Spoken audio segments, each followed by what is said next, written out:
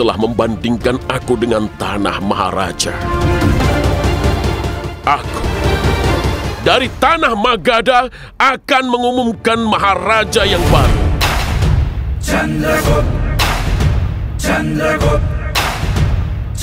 Di setiap nafasnya ada keinginan India bersatu. Selama masih ada nafas, manusia masih hidup. Kau melakukan kesalahan dengan menyentuh perhiasanku. Jadi kau harus membayar mahal akibatnya.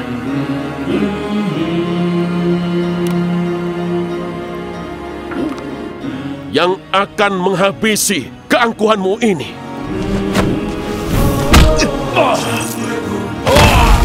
Yeah!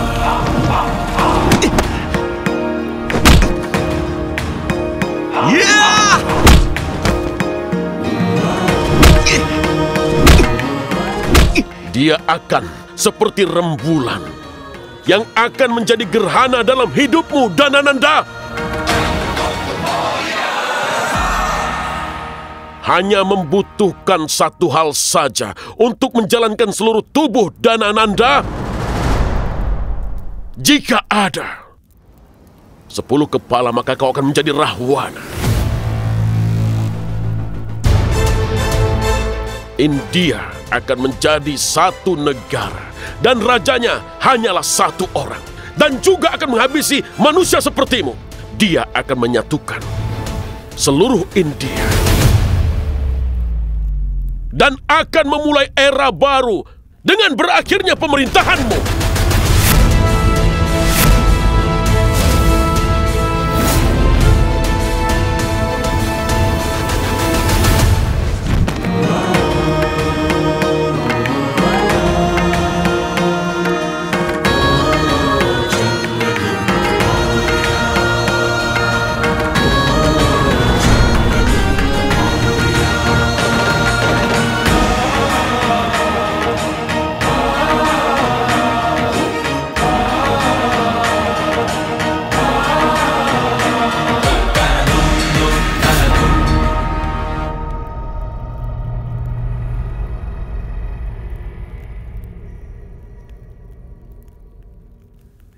Aku Wisnu Gupta Chanakya tidak akan mengikat rambutku sebelum menghancurkan dinasti Nanda.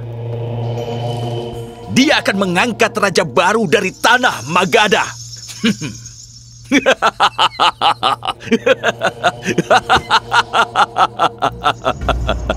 Acarya menjadi penyihir.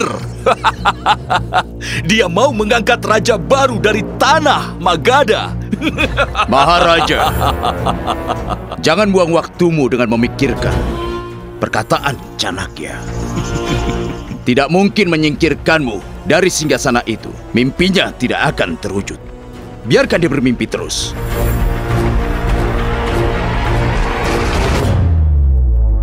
Apa yang dikatakan Chanakya? Dia mengatakan impian Chanakya. Kalau tidak salah, seluruh alam semesta ini juga merupakan impian Dewa Wisnu. Benar begitu? Benar, Maharaja! Oh, sekarang aku mengerti bahwa Wisnu Gupta Chanakya menganggap dirinya Dewa Wisnu dan ingin mewujudkan impiannya.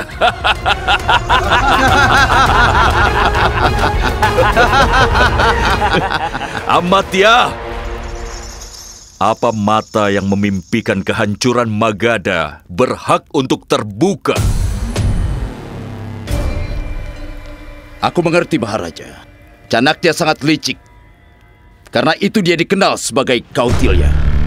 Dia tidak akan menyerah dari kekerasan. Aku sendiri harus pergi untuk mengalahkannya. Izinkan aku.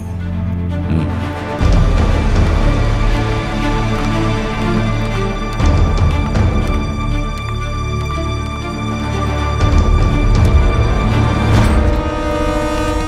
Ilmuwan, kalian menyanyikan lagu apa untuk melindungi seseorang?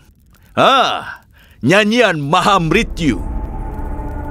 Sekarang kalian semua akan menjadi saksi bahwa mantra dewa pun tidak akan bisa menyelamatkan orang yang melawan Magadha. Mulailah nyanyian itu.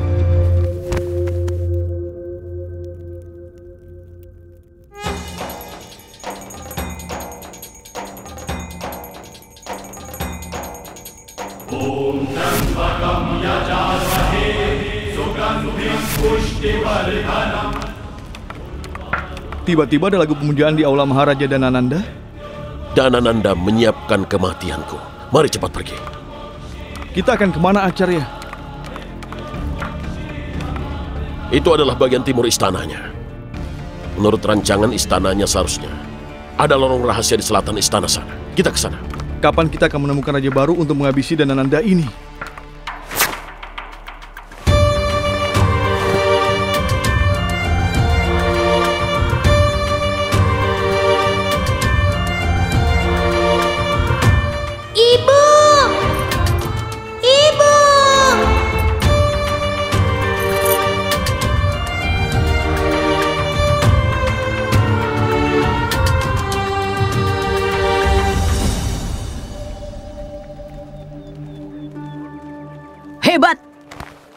Luar biasa.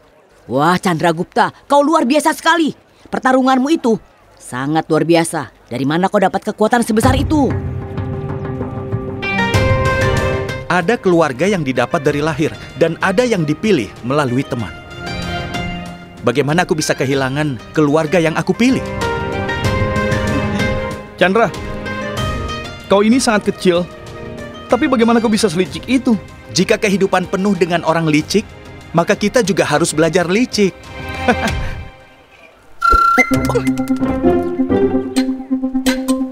Kurang ajar. Kau itu sangat licik. Kau berani merampok ayahku ya, dasar pencuri. Kau malah menyalahkan aku. Kau sendiri yang menyuruhku untuk mencuri dari ayahmu. Aku meminta dua koin agar bisa membantu ayah temanku. Kau malah mengambil 10 koin. Cepat kembalikan sisanya. Kenapa? Semua di dunia ini kan ada harganya. Kami bekerja keras, jadi harus mendapatkan bayaran kan? Dua koin untuk temanmu, dan sisanya sebagai bayaran untuk kami. Untuk mencuri dua koin itu. Delapan koin untuk mencuri dua koin. Ih, Ya, semuanya kan semakin mahal. Delapan koin pantas untuk empat orang kan? Dua untuk Indra, dua untuk Stul, dan dua untuk Dumketu. Dan sisanya untukmu.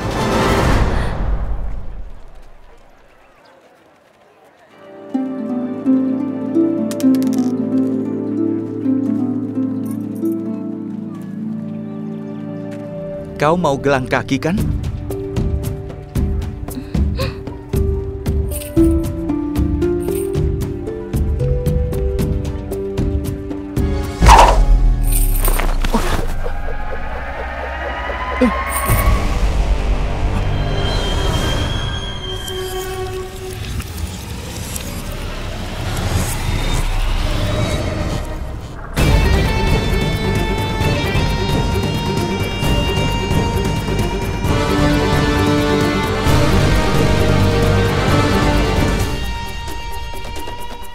Aku yang mengajarkan semua itu padamu.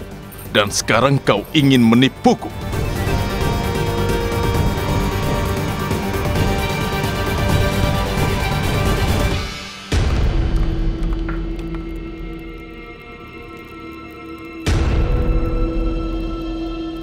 Bayraf, sebelah sana. Jadi menurutmu jalan keluar itu ada di sebelah sana? Jika kita mencari jalan sesuai perkataan, bukan sesuai petunjuk, maka bisa saja membahayakan kita, Bayraf. Maksudnya? Coba lihatlah api obor ini. Minyaknya baru saja diisi. Jadi ada penjaga di sekitar sini. Sangat berbahaya di sini.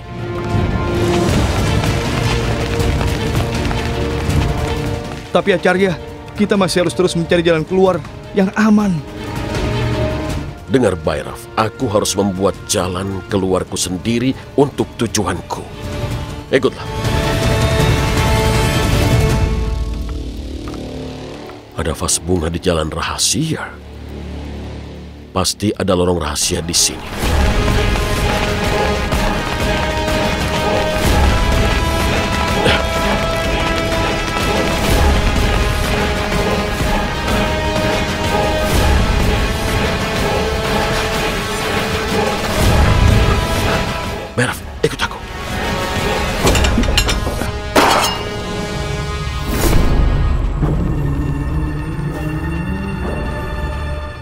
Nafasnya jatuh. Pasti ada yang lewat sini. Mungkin saja tikus Amatya. Banyak tikus di bagian istana ini. Tikus memang sangat ahli mencari jalan keluarnya.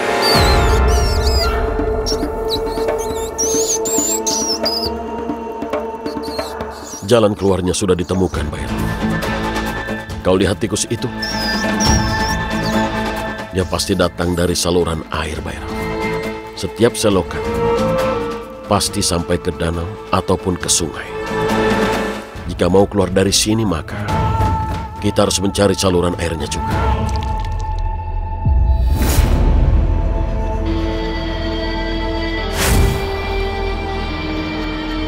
Kalian lihat, saat cairan hitam ini mengering di tubuh seseorang, maka kulitnya harus dikelupas.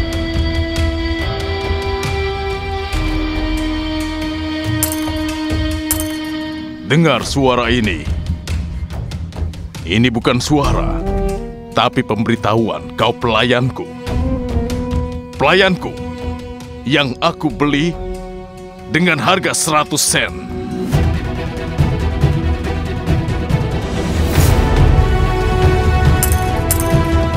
Setiap penghasilan pelayan, baik dari kerja keras ataupun negosiasi, dari hasil sedekah ataupun mencuri, tuannya berhak atas penghasilannya.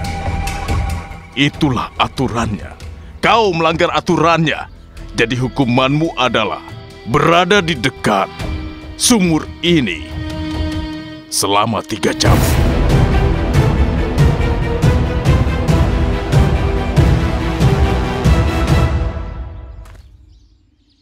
Aku ingin bebas.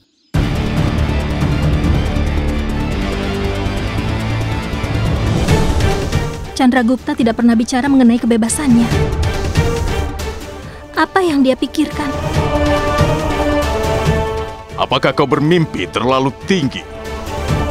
Keluargamu menjualmu agar tidak perlu bertanggung jawab padamu. Kau ingin bebas dari semua ini. Apa yang kau pikirkan?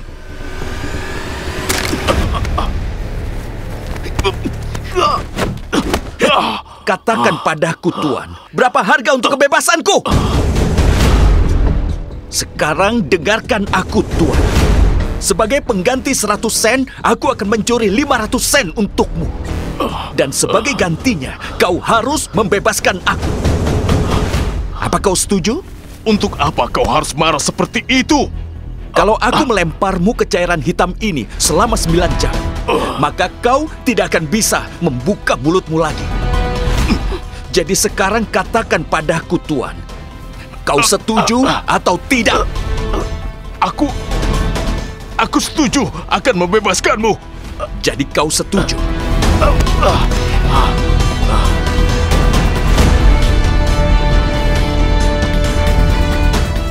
Kau tidak tahu nilaimu sendiri, Chandragupta. Seseorang harus memberitahu nilaimu padamu.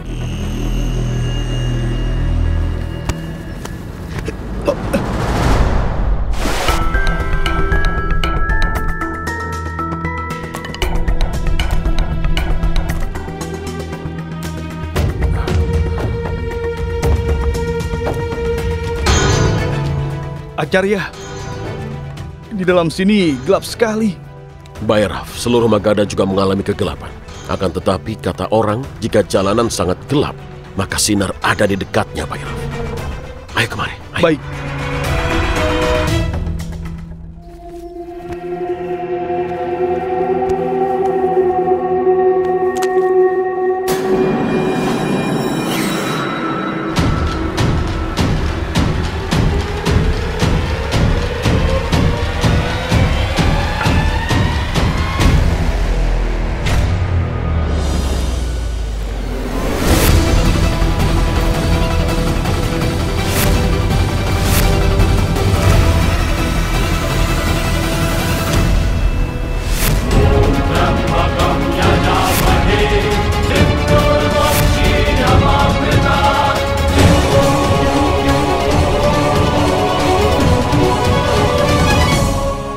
Saat hati merasa ragu, maka senjata di tangan tidak akan berfungsi amati raksas.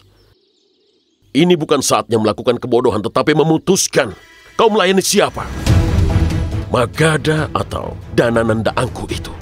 Bagiku Magada dan Maharaja tidak ada bedanya, Wisnu Gupta. Pelayananku sama bagi keduanya. Lalu kenapa tanganmu berhenti? Aku berhenti bukan karena takut, tapi karena hormat kepadanya. Aku menghormatimu. Karena itulah aku memberimu kesempatan terakhir, Wisnu Gupta. Kau harus pergi jauh dari perbatasan Magada. Kau lupa bahwa aku sudah bersumpah Amatya Raksas. Aku akan menemukan raja yang akan menyatukan seluruh India dari tanah Magada.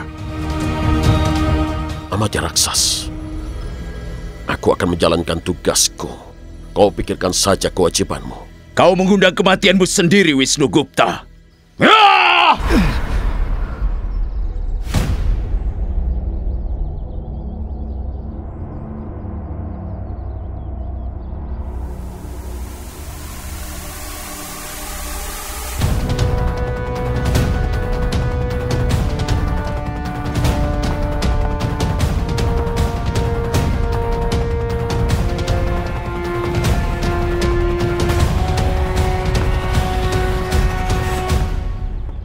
Apa maksud semua itu, Acarya?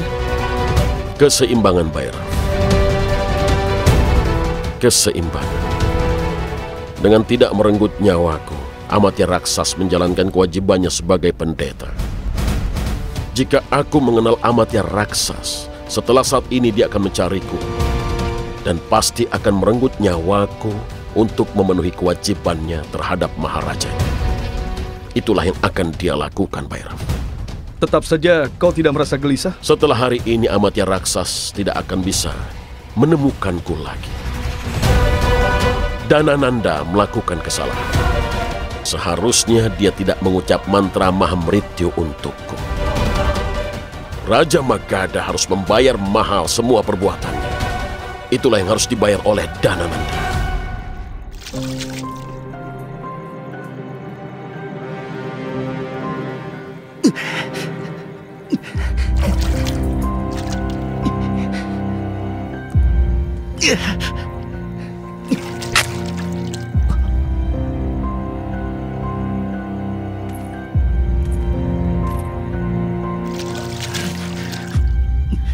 Aku rasa kapak itu cukup tajam untuk memotong besi. Pergi saja Chandragupta, agar dia tidak bisa menemukanmu lagi. Kenapa kau menerima rantai ini?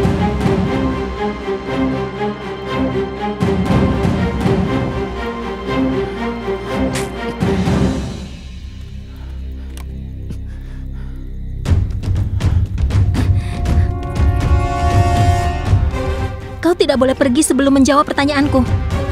Kau harus beritahu apa keterpaksaan yang telah menahanmu. Apa rahasia gelang ini yang membuatmu sangat kuat sampai kau mengalahkan pegulat itu? Kenapa kau menjaganya melebihi nyawamu sendiri? Jawablah pertanyaanku. Jika selama ini aku tidak menjawab pertanyaanmu, lalu kenapa kau pikir hari ini aku akan menjawab semua pertanyaanmu itu? Sebelum hari ini, aku belum pernah melihatmu ingin bebas.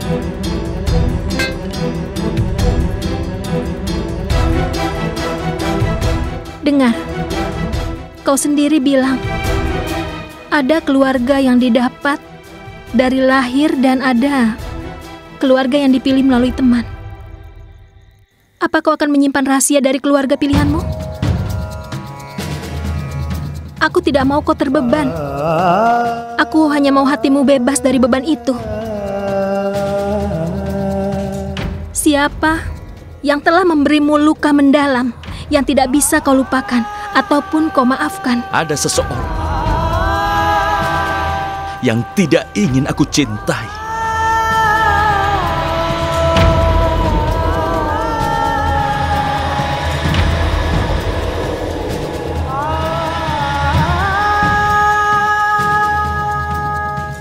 orang yang melahirkan aku, ibuku.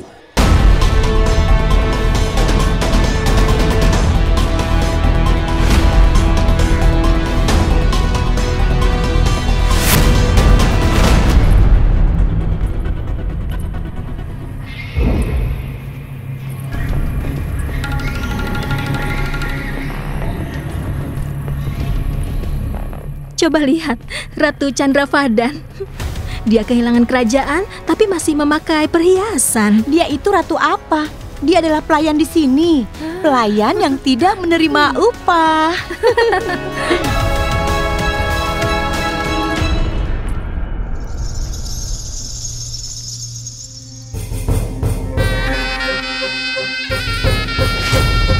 Maharaja, kakakmu membawakan kain dari Mesir sebagai hadiah ulang tahunmu.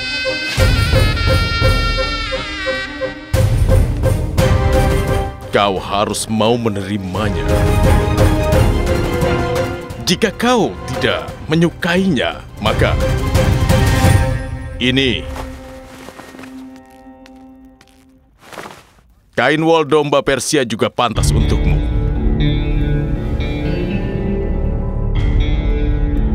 Berapa yang kau habiskan? Tidak banyak, Maharaja. Hanya 10.000 koin saja. Maka bagus sekali.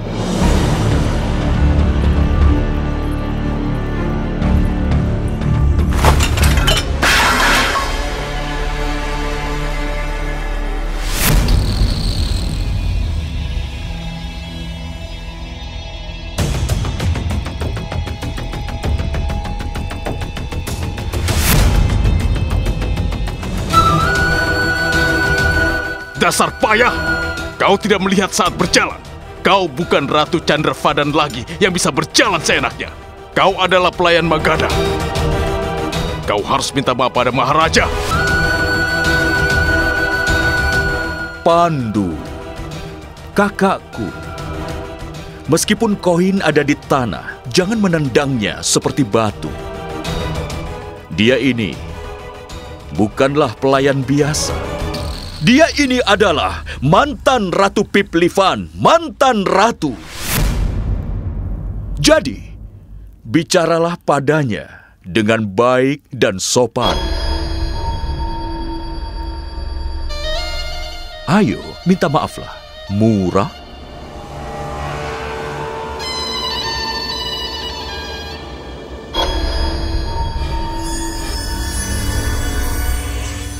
Koin akan kehilangan kilaunya di tanah, Kak Pandu. Kita harus melakukan sesuatu untuk itu.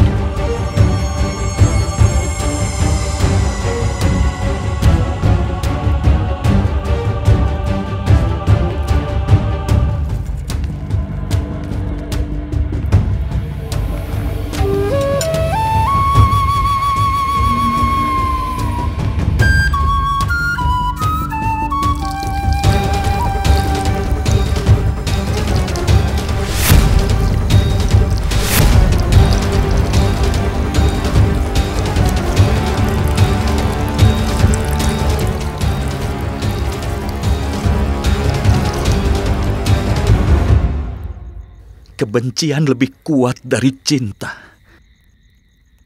Gelang ini. Gelang ini adalah simbol kebencian yang terus mengingatkan padaku.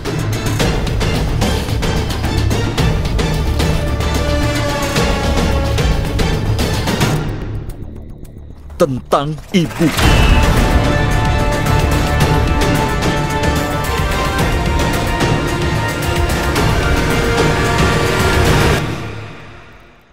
Acarya, seluruh kerajaan saat ini sedang mencarimu. Bagaimana kau akan menemukan raja sempurna untuk kerajaan ini? Meski hari ini Magadha terbakar karena siksaan Danananda, tapi suatu hari rembulan akan dinginkan semua itu dengan sinarnya.